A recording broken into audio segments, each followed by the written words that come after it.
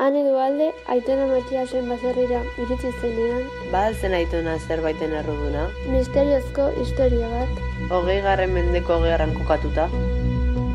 Zer izango ote da guzti hau? Zer ikusia izango aldute leku eta pertsona hauek? Ikerketa sakona eta neketsu baten ostean... Arotzaren eskuak.